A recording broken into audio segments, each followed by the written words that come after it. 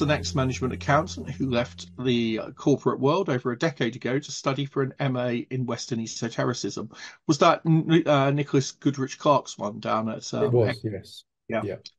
Followed by a PhD, which considered the interplay between science, religion, philosophy, and the paranormal in the 19th century. He has a lifelong interest in ghosts, UFOs, and psychic phenomena. He undertakes independent research in each of these and has presented talks to the Ghost Club, the Last Tuesday Society, and will be giving a talk to the London Dowsers later in the year.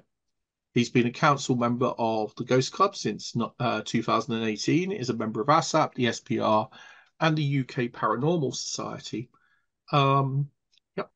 This talk examines how we've been observing strange sights for millennia humans, non-humans, angels, fairies, ghosts, spirits, demons, cryptids, monsters, flying objects, non-flying objects, out of time or out of place.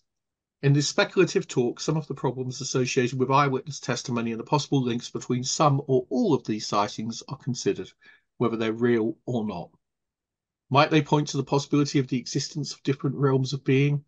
And is apparent travel or contact between these realms accidental or intentional? Are the observers of these phenomena somehow gifted or special, or are they simply deluded or diseased? It's a great pleasure to introduce to you Dr. Robert Radakovic. Thank you. Thank you, Robert. Thank you, CJ. Thanks for firstly, thanks for inviting me to to speak again. Um, and thank you to everyone who's um, who's made the effort to come along today. Um, I'll try and keep it to a to an hour or so uh, those of you who are online, and I know some of you know, already know me, can I can be a bit verbose, so I will I'll try and uh, limit that to maybe field a few more questions. Um, CJ has uh, given you a very a sort of a really good uh, summary of some of the things we're going to talk about. Um, those of you who um, uh, recognise the reference in the in the title, uh, specifically the Magonia, will will know of um, this is a bit of a not really a, a homage, but a bit of a, a, reference, an oblique reference to Jacques Vallée's work um, from 1969. He has written some more books since then in a similar vein. Um, but what what um, did very early on, bearing in mind this was written only 22 years after the sort of Kenneth Arnold iconic uh, UFO sighting, which subsequently led to the coining of the term flying saucers, not by him, but um, uh, newspaper reporter afterwards. Um, it's only 22 years after that sort of Mount Rainier sighting. So to be quite so incisive and intuitive at that time, I thought was was remarkable. I first read this, oh, maybe 30 or 40 years ago, um, about me, but I've got So why Magonia? So really, it, it's what Magonia is. It's it's a it's a magical land, um, going back you know well over a thousand years, referenced by Vallée in his book, uh, talking about a cloud realm. So an you know a, a, an unusual, strange, paranormal or supernatural realm, where it says felonious sailors were said to have come from. Um, it, it, relates to um, a treatise against um, weather magic at the time. So even then, there were some, you know, important paranormal links. Um, why have I chosen that as a, as a sort of a reference point or as an anchor point? As it did for Vallée then and since, the, the, the term Magonia sort of it provides a sort of a mythological and folkloric allusion to the possibility of paranormal realms with strange entities and quite often strange interactions. And it's some of those possible interactions we're going to have a, a, a look at later. Um, And something that um, colleague in the Ghost Club, Alan Murdie, has you know said to me once. I think we were in the middle of Trent Park walking to Camlet Moat, and we were having a chat about something. He said, "People see still see strange things. We have done for millennia, but people are still seeing things now. We don't understand what they are, and anyone who pretends to fully do so, I I I would I would argue doesn't really understand the field." but it doesn't mean that we we can't try and push those those boundaries. So some of the links that Vallée spoke about between the, the mythology and, and folklore, and he compared to contemporary uh, observations of of his time. I'm going to have a look at you know uh, similar things today and hopefully push that on a little bit forward.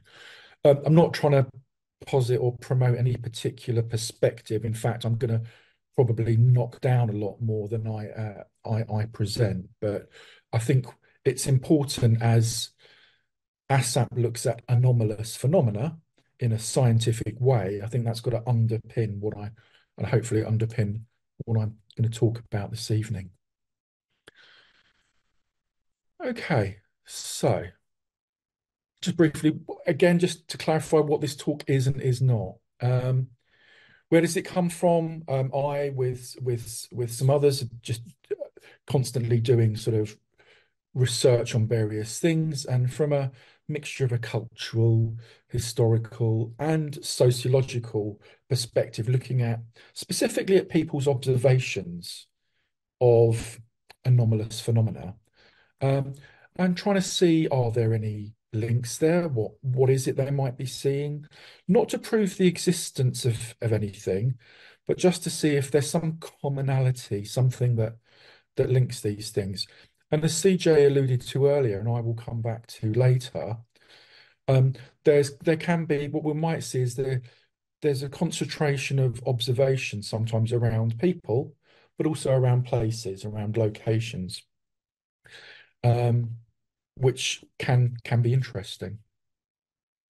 Again, this research is at initial stage, so I said I'm not going to posit any particular theories, but the idea, hopefully, is that I'm going to try and stimulate some thoughts and and and and you know some discussion and and, and ideas.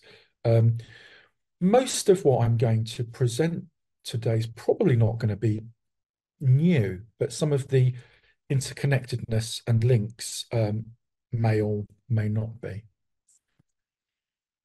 Um, as I said, there's going to be a crossover, even when I will later on delineate between certain things to aid thinking about things and aid discussion. Um, there's a crossover even with my, my own delineation, but you know, with certain theories that people might think, ah, it's ancient astronaut or it's extraterrestrial or it's stone tape theory or something. Um, actually, I I'm not positing any of those. Um, so, not our crazy head friends, the ancient aliens, and certainly not extraterrestrial hypothesis. Not to say I don't, I'm not a believer, but it it doesn't matter for the purposes of these, and um, it may very well be the answer to everything, but I think what I'm hoping to show is actually, I think things are a little bit wider. One of the first things, and, and, and, and CJ mentioned it earlier in the intro, that's really important, we're talking about observations by people. And so the to to not consider some of the pitfalls of eyewitness testimony would be rather remiss as um, you know scientific researchers. Um, you notice in the top right-hand corner, there's a, there's a little um, um, little picture I put together in about two minutes in in in, in Photoshop. Uh, one is a is a an American stealth bomber, and one is a now becoming classic UFO triangle shape. Um, I'm not saying that they're the same thing, but I'm saying that it can. It's very easy to see how similar things, similar shaped things in the middle of the night with strange lighting can easily be conflated and misconstrued, and, and we'll have a look at that. Okay, so some questions to, to ask, not of only of the observers, but if you observe things yourself. And a lot of people who are here today, I should imagine, are interested in the field, some of you, because of things that you may have observed as a child or since. And you want to just try and find out a little bit more. In natural human nature is to try and explain things. First question here is, are, are the observers really seeing what they are reporting? It'd be great to be able to answer that uh, conclusively. But what we can do is we can say that unless somebody, unless there's a hoax being perpetrated, then the observers probably believe they are observing what they think they're observing. And that's important because it's not a question here necessarily of what's being observed, but the perception of it. Um, for all of us, and when I presented this before, and actually I noticed somebody who's um, who's who's with us today. When I presented this, I think last time to the Ghost Club, when I asked this question, um, and somebody sort of interestingly challenged me on it, and it works both ways. So there are a number of factors which need to be considered. So pre-existing beliefs, our knowledge, which in this environment is probably going to be higher, or certainly much higher than um, a, a layperson talking about paranormal phenomena cultural influences, uh, books, TV, film, etc. And these things cannot cannot be dismissed, and they do influence us whether we think they do or not. Um, I would suggest. And so the question I ask is, would a ghost sighting by an ASSAP Ghost Club or SPR member be more valid than that of a non-member? And you could argue both ways that it would be more valid because we have greater knowledge and so we're maybe more able to dismiss um, things that it could be misconstrued for. But also, we, we, we also probably higher have pre-existing beliefs that might be difficult to, to get around. Um, but certainly, when you're looking at accounts of observations of ostensibly anomalous phenomena, just what's the context? What's the cultural context um, of that person or the location or both? I want to give you a couple of um, uh, examples, uh, slightly closer to, to, home for me, uh, just to give you an idea of how these things can be affected. And these aren't both uh, to do with paranormal things, but actually um, they both relate quite quite well.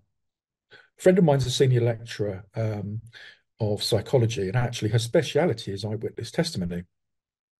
And soon after the uh, the, the the Yugoslav war, which broke the uh, my my heritage was Croatian, so even though I was born here, um, the soon after the Yugoslavian uh, war, when it was broken up into the constituent sort of states of Croatia and Serbia and Bosnia and Macedonia, etc. Um, obviously, there were some war crimes that went on, and and my my friend went travelled over to to uh, Belgrade, the capital of Serbia, to to sort of as part of her research to to investigate whether the people on the juries, based on their own um, ethnicity and based on their perceived ethnicity of the um, those people in the dock, whether it affected some of their choices. And unsurprisingly, it did, um, but it was quite nuanced. So you or I might not be able to tell the difference between whether somebody was uh, Bosnian or Serbian, but a Croatian person in the in the jury probably would have been able to. And it was found that the, you know, to cut a long story short, it, it was it was found that the the person's ethnicity and their perception of the defendant's ethnicity had an effect on, in a negative way, on whether they were found guilty or not. Second, um, second little anecdote, something that happened to me. I was uh, two or three years ago now. I was in a in a, a taxi cab going somewhere, and I, I don't know why, but the the the chap started, the driver started talking to me about aliens. Now, I had not said anything. Maybe I was projecting um, something uh, about myself, um, but it was quite strange that he started talking about this and very quickly was saying, oh, you know, you can't you can't believe in aliens. There's there's there's no evidence, etc. Um, and have to say where where I live in uh, North London, it's uh, it's now got a very high sort of um, uh, Greek and Turkish Cypriot um, population, so it's quite a religious, um, sort of Eastern Orthodox sort of um, um, populace, uh, quite a high proportion. And there, you know, there were rosary beads hanging from from the the rear view mirror. So I, you know, I ascertained that this was you know, nothing, nothing unusual.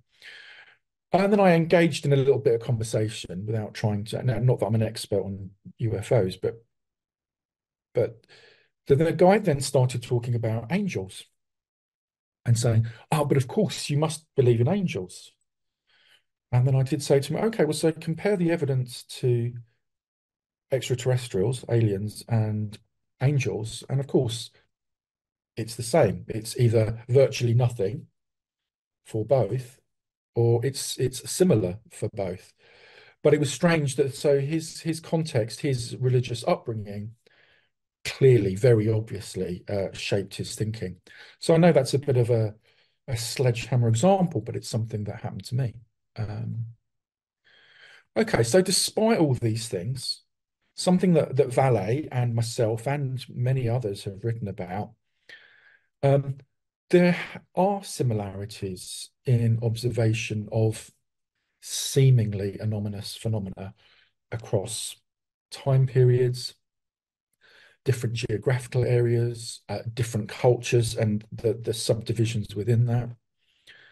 And so one might argue that the, the commonalities and the similarities might, and I stress the might, suggest some um, objective validity to those observations. Doesn't mean that the validity means that they're paranormal, but it means that the, the, the observers have definitely seen something, um, whether it's paranormal or not.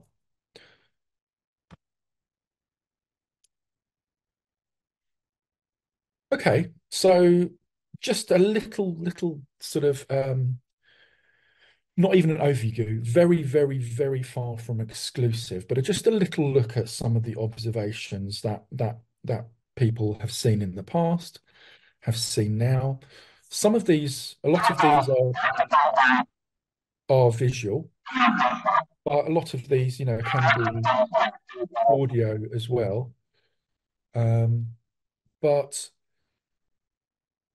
what we'll see is, and I, I haven't wanted to force the the interconnectedness, but I've had to group this in certain ways.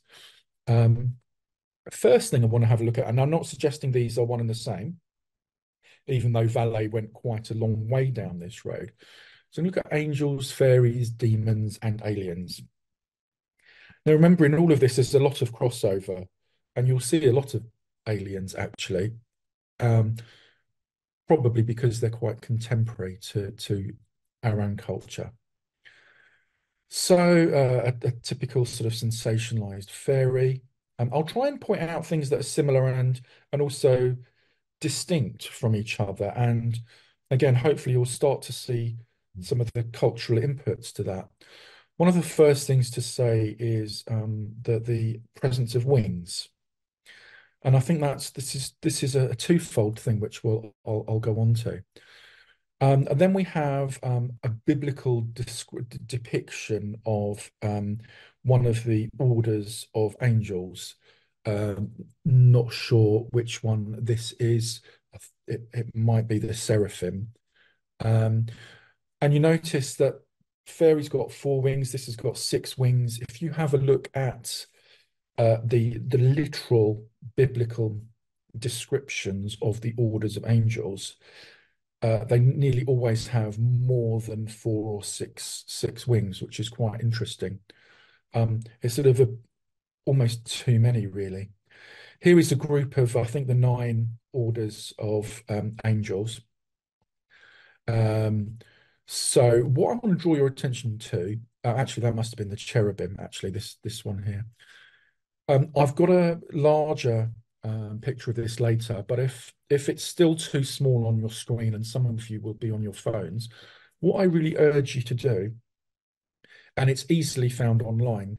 Just Google search something like um, biblical or exact biblical descriptions of angels, uh, and it's really interesting. And what you'll find is there's some very talented artists who have drawn and painted uh, versions of this based on the literal uh, translations. And so, what I want to draw your attention to here is thrones, which is almost, uh, as we'll see a little bit later, um, more mechanical than it than it is um, at all biological. Um, then we have um, a description, a, a an, an, impression of some sort of demon. Now you see that we, we we're starting to lose the wings, but we're getting horns. We're also getting a tail. Um, so it's interesting to see both geographically and culturally where, where these limits are. I've introduced here, very familiar to all of you, hopefully, is the, the idea of a grey alien. I'm not suggesting that these are one and the same thing by any means, but there are similarities in, in, in posture and in stature um, to some description, even down to the, the, the elongated fingers of, of the hands. Um, going back to some more biblical angels here, and again, um, a lot of wings involved. We're not only talking about entities here, but we're also, and we'll see a little bit later, talking about potentially um, machines and, and and and craft. I mean, UFOs at their basest interpretation are are, are flying objects. Um, and it does sort of rather beg the question that actually a lot of the um, entities and phenomena that are are seen um, are you know are related to flight. I think this is from um, one of the the grimoires. I think King Solomon's grimoire. It's it's um, you know a, a, demon from there. Again, wings, horns, and a tail also interestingly, I mean, this one is is despite that is is humanoid. Uh, a lot of the demons found within grimoires, occult grimoires, are are actually just completely animalistic, uh, often hybrids, uh, which, which is interesting. Now, whether that's to do with based on observation or they're made up, or it's actually to do with the characteristics. There's a lot of birds uh, with, uh, found within grimoires. So the suggestion of flight and wings again is is apparent. Again, uh, having a little look at the um, this isn't this isn't my picture I've put together, but it but it, it neatly um, shows some of the um, um, most common, not not exclusively, not all of them, but some of the most common extraterrestrial sort of groupings. So you've obviously got the um, moving left to right, you've got the typical grey. Um, then you've got what might be termed an insectoid, then a, a reptiloid, um, a Nordic, and then the one on the far right, either an aquatic or an amphibian. Um, so you have these groups of entities when you actually have contact, not just observation, um, that are most reported. Uh, you have many that are completely non-humanoid as well. Um, but I thought it'd be interesting. It was quite a nice little little diagram. So again, and as as with this slide and the next few, this isn't an exhaustive list of things. It's just to give you a a flavour. If we now move on to uh, very loosely ghosts and spirits, and again, and all of these could have crossovers before and after.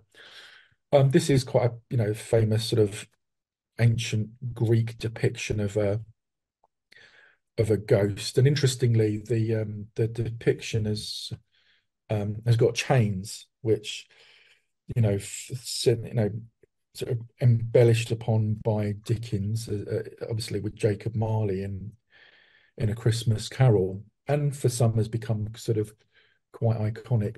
The main reason for that is, but certainly within um, Greek ancient Greek culture, but a lot of a lot of other ancient cultures, the the reason that a ghost might ever manifest uh, or be created, whatever that means, is due to um, a, a, tormented spirit um, during life and somebody possibly who also hasn't had proper burial rites. So there is this element of of um, being trapped and, and and tied up.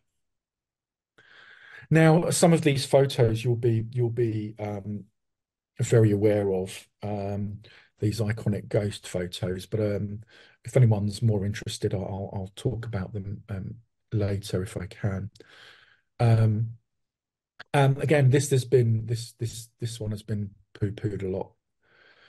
This this is quite a recent one from a mobile phone taking in a stately home, and you can see this strange elongated head here. Uh, very quickly, uh, with with almost no analysis, you can see that this has been taken on a, a, a mobile phone, where the the the the camera software maybe with a slightly long exposure or strange lighting or whatever reason has just um, not correctly focused in on certain parts and where there's been a bit of movement has elongated um, the picture.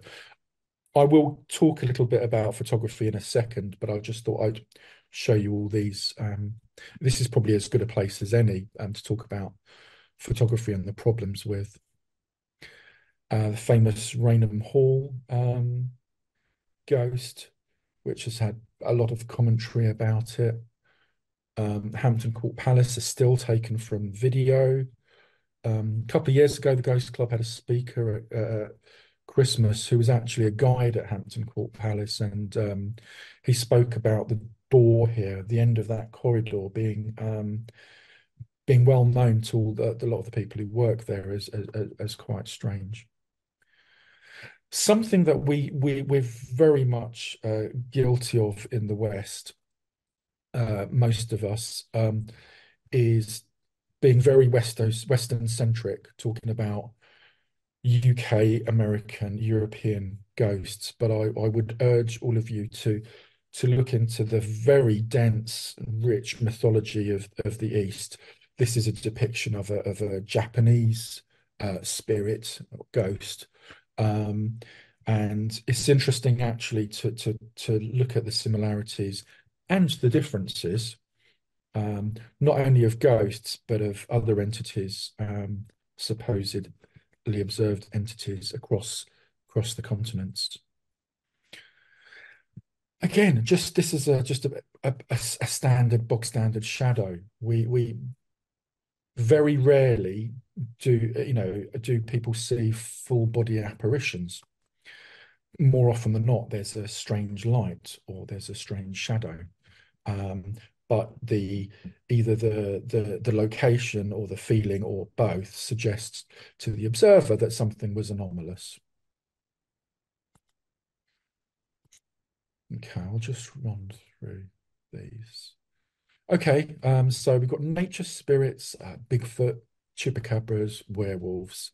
Um, don't need really much introduction. Um, interestingly, when I was putting this together, when I first uh, presented this, um, I noticed how many of the uh, the the files that I was sourcing were actually, uh, or the, the the stature and the posture of the of the entities was was very similar. Um, I don't suggest that to create um, um, any link that is not there, but I just found it quite synchronous. So you'll recognize this third one as the, the, the sort of one of the early original um, uh, footage of of uh, Bigfoot, which is still probably talked about uh, more than some of the more more recent ones. Here we have an artist's impression of a chupacabra. Um, we have some we have some spikes there um, which uh, often forgotten, Red Eyes. Um, another which has similarities. Um, and then uh, finally a, typical lycanthrope werewolf. Again, but actually sort of similarities. We have these long arms. We tend to, we the chupacabras are are not always furry, but they sometimes are. We have tails here for some, but not not for others. Um, and even in the primate world, the difference between having a tail and not between apes and monkeys is, is you know, is quite significant.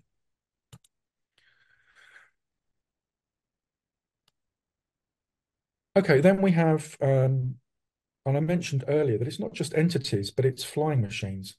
Now, I'll I'll show you them and then then talk a bit about it. And actually, I have forgotten to talk about the photography, but I'll talk about that after after this. Um, so here we have some Mesoamerican, Southern American, Central American sort of um, bird mythologies and folklore and flying machine mythology. Here we have some depictions, some drawings and carvings from the 1890s um, airship flap in the eastern United States. So you can see some pr propellers there, for example. Uh, and some more of those. It was quite interesting. I'll talk a little bit more about that that later. And I think it's important here to to to, to reiterate the context. Um, we could assume, let's assume that for the sake of argument, that these are all extraterrestrial flying craft. But the ancient and Americans would maybe have seen these as a large bird because they knew that birds fly. Um, the late 19th century um, North American observers might have started to understand a little bit about flight, even though this was observed before the first recorded powered flight.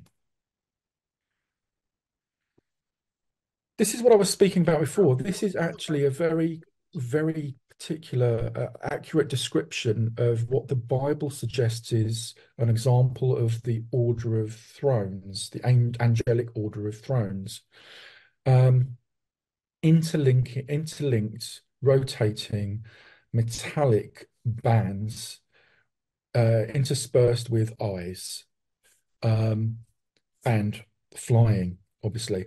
So it's not a chariot a la um, von Daniken, um, but it's not an an entity as uh, you know a, a humanoid that we might perceive.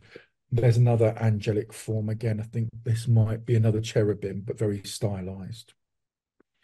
Again, looking slightly further to the east, and if you look at the um, the Vedic texts and the Vimanas that were described there, these very large flying machines. This is an artist description, contemporary artist description. And you can see it's it's almost like a, a floating city. Um, they're very interesting. If you've never read the Vedic text, the the the, the some of the um, some of the descriptions of both the craft and what they they they were capable of in terms of their weaponry is is is remarkable. And if we have a now more contemporary description with Vimana of the time, so um, again, not too different, more like a a, a very large um, house, um, you know, Eastern house, but again, a large flying object. If we look a little bit more closely, I'm not going to absolutely not going to go through these, but just to give you an idea of some of the classification that's taken place. Classification, I think, is important for for from if you're looking at things from a scientific perspective, but it's easy to to, to get up on on these things, and some of these are so similar to each other. Um, and given that in the last maybe 10, 15 years, there have been two or three shapes that have become uh, more prevalent, certainly recorded. And here's another sort of a, a, a, different version of something similar. Obviously, we see a lot of triangles. We see a lot.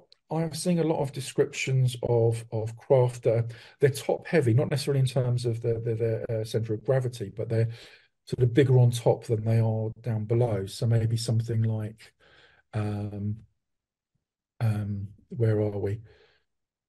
The the F28 even here. Um, I liken them sometimes to like the the the the, the the things that old elephants in circuses used to stand on, but actually flipped up on its head, a sort of 180 degrees. Obviously, cigars are still very popular, and we've got these these tic tac things that have been reported recently um, are are quite. And this is as opposed to the just merely lights. Um, let me just go back to there. Before I before I move on, um, I just wanted to talk a little bit about photography. All the all the things that we've we've seen. So whether it's entities, craft, um, cryptids, etc. Ideally, what would be, apart from just the observation, what we'd like to be able to do is photograph them. And in here, as well as with eyewitness testimony, um, I want to just talk very briefly about some of the things that is worth remembering with photography. So, and then especially with things like you know ghosts and and, and UFOs. Um, I'm going to talk about both film and digital, and obviously with with with film, you have the potential issue of of double exposure. Um, so and that's fairly obvious where you have two different scenes that are overlaid onto the same piece of film. This is almost impossible, not really possible in a digital format, but you can create the idea of double exposure in, um, you know, in, in post-production, post-editing. But the very nature of doing that, I, if, if something was was truly there, then it wouldn't be it wouldn't really succumb to double exposure, you know, in one hand. Um, both film and digital um, uh, photography um, are you you have issues maybe where you have long exposures. So if you have a particularly long exposure of a still scene with a with a small aperture, not letting a huge amount of light in, and somebody walks across the scene, you may see some faint trail of that uh, of that that person or that entity or whatever, and it would look very ethereal and, and strange. Um, the issue with a long exposure is as you're letting more light in you, it's easy to get overexposure. So it, it's just to highlight some of the, the issues. Now, obviously, in the age we're in, everyone's carrying quite powerful photographic uh, equipment with them, are quite often in the nature of new mobile phones. Now, there's some good things and bad things about mobile phones. If anyone is um, um, uh, anyone here is an expert in photography or, or just you know uh, uh, a bit more than knowledgeable, um, if you haven't already, could you just mute yourselves, please? Thank you if you've come in late. I'm getting a little bit of feedback. Um, mobile phones do have, for this, very good quality lenses for their size, but they are very small. Um, and also you have quite often you have a very high pixel count um, on mobile phones, which in the first instance sounds great, but it's crammed into a, a very small sensor. And so this combination of having a very small lens um, doesn't let in as much light, not even nearly as much as the smallest um, compact camera uh, digital camera or, or film camera that's you know has a sort of a normal size lens. Um, what is probably the most impressive ab about the mobile phone photography is, is actually the software, which you know can create great effects from portraiture to landscape uh, very easily, going between uh, the two. But um, for I'd say proper photography, the way you might want to enlarge the photo, uh, the picture, um, probably best avoided. But they're you know easy. They're they're always to hand, so there is an an advantage there. Okay, just conscious of the time. Okay, so if not ET, then what? So I'm just trying to say, okay, what we've had a look at all the different types of things that are potentially seen. And what I want to do is just quickly run through um, some ideas. Now, this isn't some theory I'm positing. This is just a, a construction in order to discuss possible um, observations. And what we have here is the, a range of observations from non-paranormal, so clearly not paranormal, definitively so, to things that are anomalous, that might be.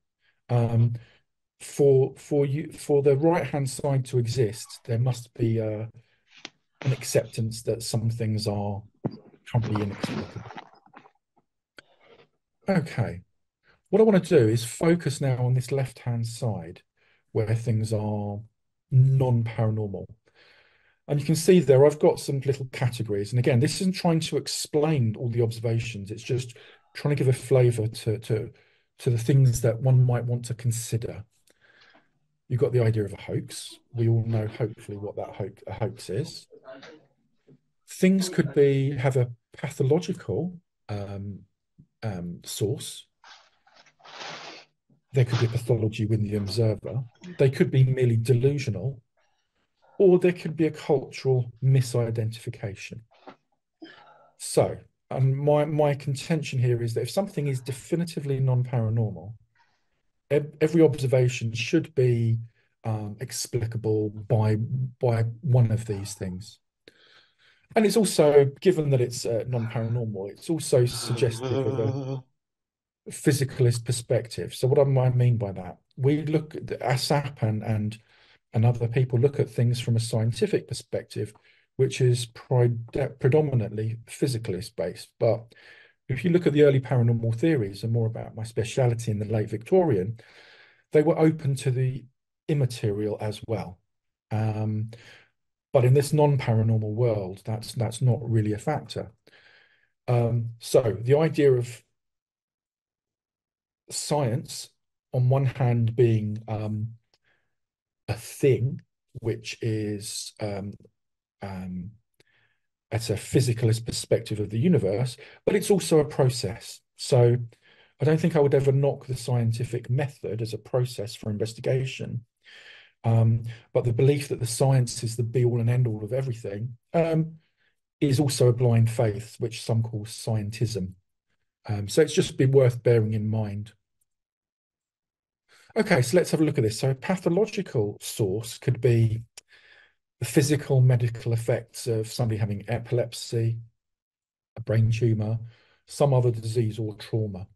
So you see something, but actually you're you're you're you're what what you're seeing is some sort of hallucination or or such like brought upon by um, some serious malady.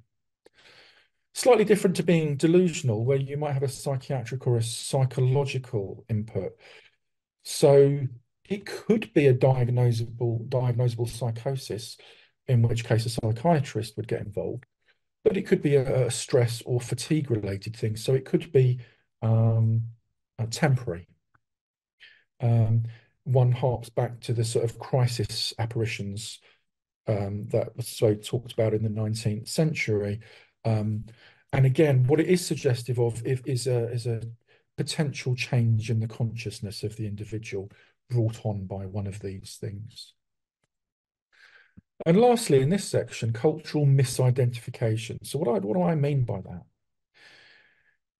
You have a photograph or you're in a location and you see what you think and some people call an orb, but it's actually a, a it's dust mote or it's an insect moving, catching the light, something like that. So why I'm calling it misidentification, because at some stage we, we, we presume that we can identify it as non-paranormal. You think you're seeing a ghost, but it's a mobile phone lens aberration, as I've described. You know, the, the software can be tricked, but it's also remarkably useful. Well, you're just seeing a shadow um, there's movement, especially if in in some of the investigations where you uh, where the lights are dimmed, it accentuates sometimes um, the effect of any lights that are there. Again, just just examples off the top of my head. You you think you've seen a Bigfoot, but you've seen a bear. You think you've seen Nessie, but it's a large eel. And alluding to my you know constructed photo, picture earlier. You think you're seeing a UFO, but it's just a stealth aircraft, possibly. So just to reiterate, this is where things are definitively not paranormal, but you think you're seeing something or somebody does. What might be the causes of that? Now moving on to the same the same scale, but I want to now focus on the possibly paranormal. So the idea here is that we cannot prove that it's not paranormal, um, but there are still things to consider and issues. Um, what we're including here are things that are both immaterial and material. So very important concept to, to embrace the immaterial nature of things from an observational perspective. And we'll see that sometimes when people are seeing things, they may look solid, but actually you know that they're not physically there. Does that mean they they don't exist at all, or they're just um, their their structure is immaterial, or are they existing in a different realm that that is not our own? So, and I put even if some or all of the paranormal phenomena that are observed are real, we don't understand their nature. So we're gonna we're gonna have overlap all over the place. And where this it manifests itself is now bearing in mind here, I'm not saying any of this is real or true, but it's just to give you an idea to think. So you think you're seeing an alien, maybe typically a grey alien, but it might be a fairy or a wood spirit, or vice versa. You might think you're seeing a, an alien, grey alien or reptilian or something, but you might be seeing a future human that is time traveling which you might suggest then that UFOs are time machines rather than, um, you know, interstellar craft. Who knows? You might see what you think is a ghost, but is actually a bona fide angel. Now, you can't prove any of this at the moment. Or it could be a demon, or it could be a fairy. We've already seen there are similarities there with or without tails, probably with wings, sometimes with horns. But this is different from the misidentification we saw in the non-paranormal realm. This is now misinterpretation. The reason is you think you're seeing something paranormal. We're assuming for the sake of argument that you are, but you're misinterpreting it because of your own cultural um, sort of proclivities. Then move on to things that are immaterial. So you might be seeing a ghost, and in conventional terms, that might be the spirit of a dead person. But you might also be seeing actually an apparition of somebody who is still alive. Um, again, I hark back to the the crisis apparitions where people are in trouble, and then other people across the globe would see um, um, see apparitions of this person um, in in some sort of trauma or stress. So it's not all about death, but there is quite a lot there. Again, you could there's crossover here. You could be seeing the humanoid form of a fairy. Just because they're drawn with wings, it doesn't mean they may or may not have. Um, uh, an angel as described in the Bible or other uh, religious texts, or a demon as favored sometimes biblically, biblically sometimes in, in, occult circles, or or the idea of a nature spirit, something like a, a boggart or a goblin, um, or even a, a, harpy, something something like that. Um, and why they're in this immaterial group? Because could could you actually reach out and touch them? I'm assuming here, if for, for purposes of this construction, no.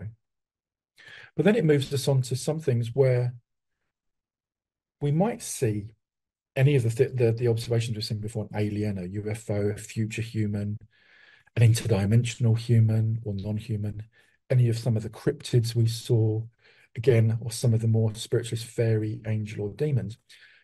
But actually, they they they they have a material form within our current physical universe, so that if they were stood next to you, you could touch them or you could photograph them, for example.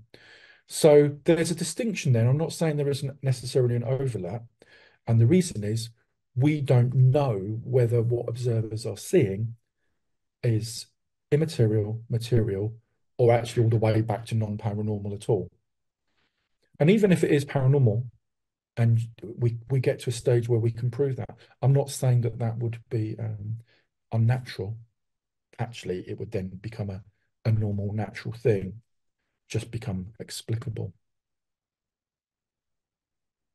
Okay, so where does this leave us? If if the observations that people are seeing, if we if we allow ourselves to presume that there's a veracity, there's a there's a reality there. And I'm not suggesting by any means that that we should, but when we can't explain things, we can't we have to allow for a possibility. The fact that we don't think see these things constantly, all the time, everywhere, suggests that if they are real, to whatever that whatever that means, then most of the time, the vast majority of the time, either we are unable to see them, maybe because of our state of consciousness, or they're residing somewhere else, be it a spiritual realm, a different inter a different dimension, even a different time. And if that's the case, then we have to allow for some sort of travel. Now, travel is a very loaded term. And I don't here mean just the concept of physical travel from A to B. That's one option. Um, but we need to um, be be cognizant of oh, excuse me, that actually some of the possibilities are are either spiritual or certainly material, or might just be the movement of the transfer of information. So again, just to reiterate, so we could have all these um, um, different possibilities, and I'm sure there are many more. And when we find out the truth of things in in a couple of million years' time, we'll find out it's, it's it's yet another thing. But with our sort of current thinking, and you you might recognise some of the the references here, H.G. Wells's Time Machine, etc. So let's now consider firstly immaterial, then material things. So if we have immaterial entities or realms, maybe the observations are just a transfer of information. So what do I mean by that? So let's say that for whatever reason, and it could be, and a lot of you will know this as well as I do, a lot of the theories relate to being in a different state of consciousness. We alluded to the fact that you could be in a state of trauma, but you could be under hypnosis. Um, you might have taken some drugs or alcohol, or you could be stressed. Um, you could be in in in a medically induced um, different state of consciousness um, that allows you to see into or have access to these different realms if they exist. Even on that basis, what you're observing might just be simply that. It's it's a facsimile of something, it's an observation. You still physically can't touch what's there. You're just getting into a glimpse either through uh, an often used term, this veil being drawn back, or or you actually being within having greater access to that realm but you're not actually physically there. And so the information i'm talking about is is just the light you know the the, the, the, the your vision the apparition that you're seeing doesn't mean to say it's not real but you it's not something that you can touch um, it might be so an example would be let's say humans have a soul, and when you die, uh, your soul goes to something like a heaven. So a very bog standard, very Christian centric perspective. Um, but to do that, you have to die. So, if you can have communication or transfer information between entities that exist in that that spiritual realm, and you're not dead, you you're by very definition you're not there. You're just observing something. Okay, so I've spoken about this before. So at times of death, and or crisis, one might see an apparition um, or get some information um, audibly.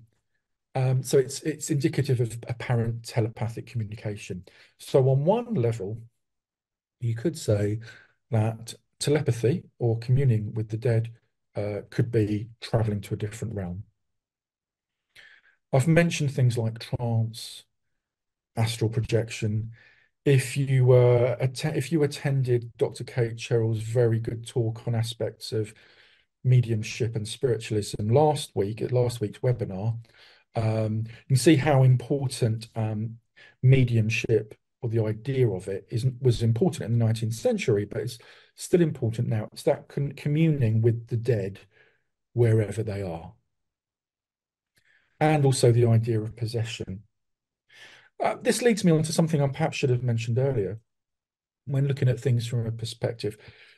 Frederick Myers, who's one of the founders of the SPR and the coiner of, I think, the hypnagogic as, as a phrase, um, early psychologist, but actually was a classicist. When he was doing his research uh, in, in, into ghost cases and mediumship and the like, he came to the conclusion that the idea of possession by an um, by an incorporeal entity of a, of a human body actually was was of greater proof to him than nearly anything and the reason was that the transfer of information that was provided, potentially provided, that the sitter could have now access to, um, you know, and where, you know, if that could be proved.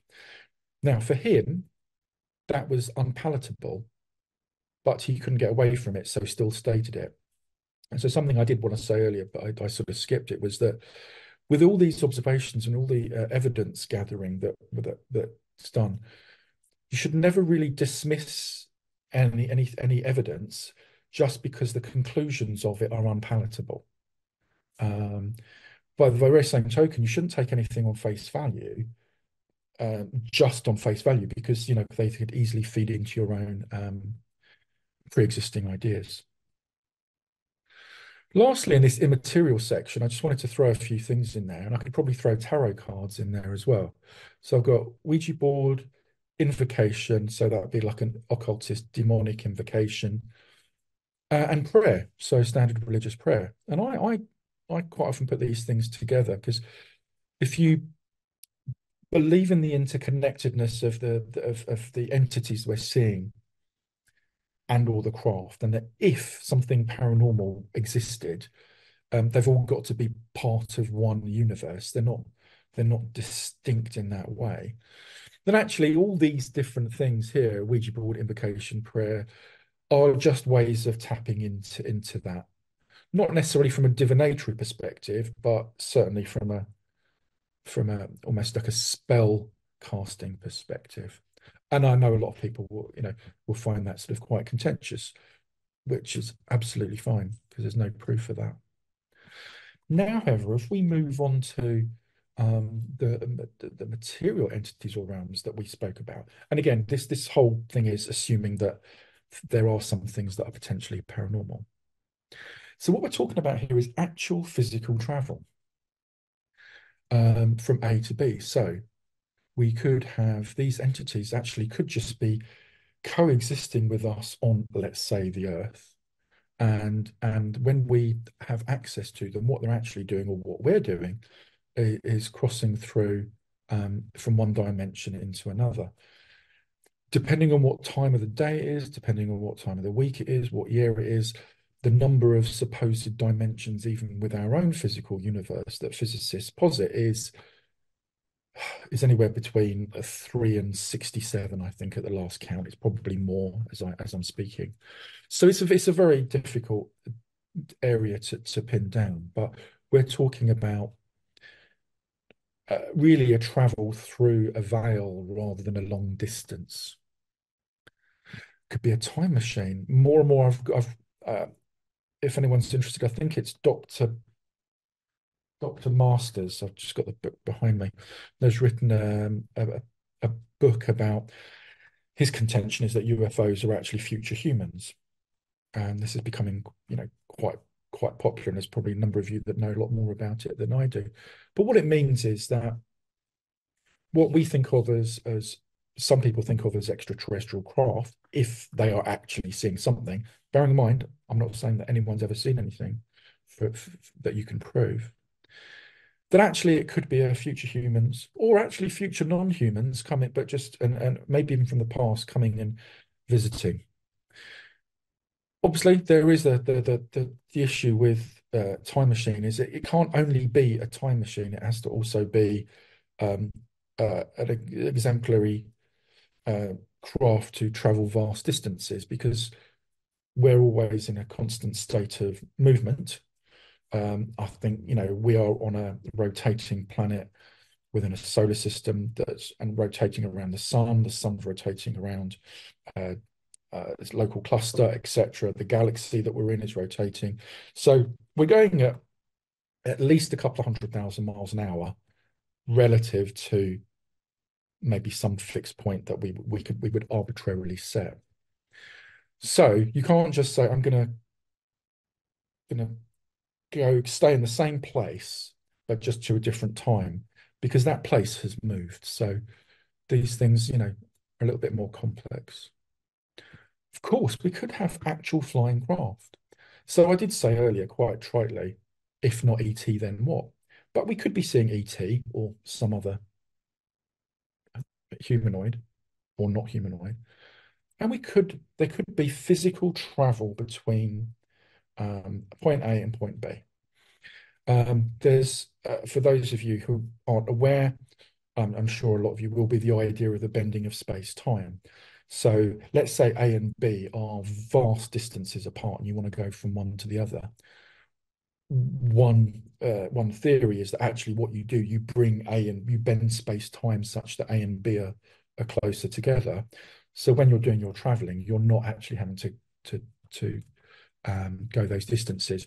One way of examining it is if you um, you could have, let's say, if you get a piece of paper and you draw A and B on one side, and you bring they you fold the paper and bring them together. That's a good analogy.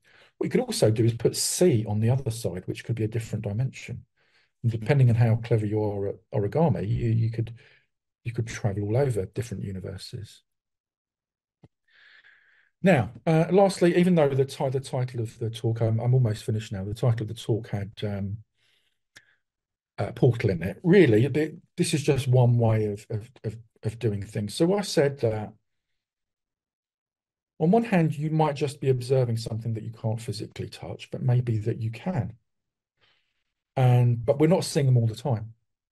So if there are other realms, other dimensions, this idea of a vortex or a portal where um, entities or craft or both ourselves could travel through, whether naturally forming or intentionally created, um, could allow us to travel into these different realms, which rather suggests actually these realms aren't aren't at all paranormal. They're just different versions of of, of a reality um, in potentially different places that we could get to.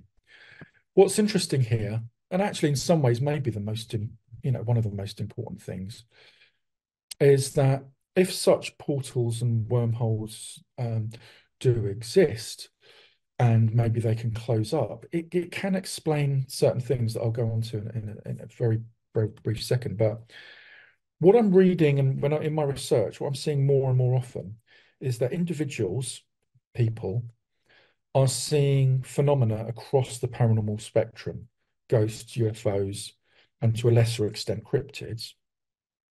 But more common, seeing particular places are people are different people are observing um, phenomena across the paranormal spectrum, including cryptids.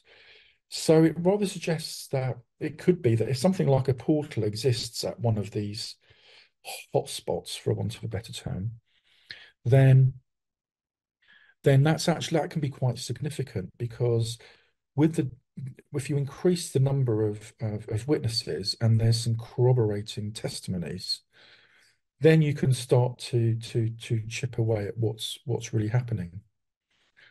Um, Okay, we've like really, really close to the end now. So given the nature of what we're talking about and that it's a very high level speculative just sort of a prod to get to get you know to to to stimulate some thought and some discussion but to look at the interconnectedness or the potential interconnectedness of things just some things that i've not really been able to speak about um so many many historical and contemporary considerations that i've i've, I've not discussed um either I don't know or I don't know. Um, if you have something like a portal, um, then there's aspects of scientific method which, which when they're seemingly broken down, actually might be explained very speculatively. There's a distinct lack of physical evidence of paranormal phenomena, where be they cryptids or UFOs or, or ghosts. Now there are there you know there are there are some, but it's it's quite rare. But if you imagine um, imagine um, Bigfoot or a chupacabra coming across a portal from one dimension, coming along, saying hello, scaring a few people, eating a few sheep, and going back. There's not that much time for this amount of physical evidence to to to be left. I'm not saying that's what happens. Um, these things might not exist, of course, but it's just a thought. Again, within the scientific method, there's um, there's the issue of the repeatability of phenomena. And while there is some experimentation and some of the phenomena I'm talking about, and some use of equipment, most things are spontaneous. So it, it's difficult to, to, to have all these things on hand. As I've already mentioned, if you have more than one witness or a number of measurements that are corroborating, that's also very good something that I've mentioned in a previous talk, but and I, and I mention it in a lot of different talks actually, but I think it's quite important. I do have a physics background. And if you look at something like the, the discovery of the Higgs boson, which is incontrovertible, um, that experiment, the, the, the number of collisions was something like four and a half billion collisions that took place. Now, we can't go to four and a half billion haunted locations or the same place four and a half billion times very easily. Um, so it, there's just to give you a flavour that the the way we view science and some of the, the, the ways that science knocks back against paranormal phenomena, maybe we just need to uh, expand our um, definition of what science might need to look at. Maybe not. Certainly something that Oliver Lodge, who one of the co-discoverers of um, radio, uh, an early member of the SPR, thought I spoke about um, this is looking at some of the cultural things. I spoke about the US airship flap of the 1890s. Now, the observations were with powered flight and propellers, sometimes with definitely humans on board and sometimes without. But this was before the Wright brothers, not very long before the Wright brothers, you know, 10, 12 years or so. But we're observing powered flight here. So either if it's if the if it's these things weren't paranormal, then it's just other people experimenting, other humans experimenting, and they just weren't as good, uh, uh, you know, at their self promotion as the Wright brothers were. Um, and so the, this technology was available. One could also say that it maybe they were inherently um, almost cloaked or masked with um, with the with the look of the period. Um, so just something to think about. Again, uh, these are these are really brief because I haven't gone down the hole on these. Something to bear in mind: we looked at the the B, you know, the the the stealth bombers compared and the triangle shape.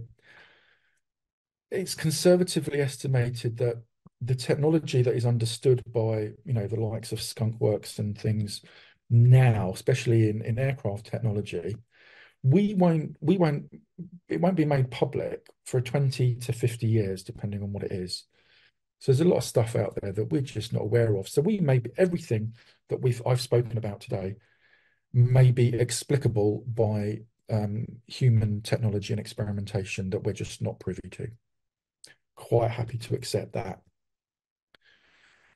if there are different realms realms. Um, there might be different physics, but then you that would suggest a different universe, not just a different realm. Um, this is just sheer difficulty of traveling you know, uh, physically from one realm to another. At my age, I, had trouble traveling anywhere physically.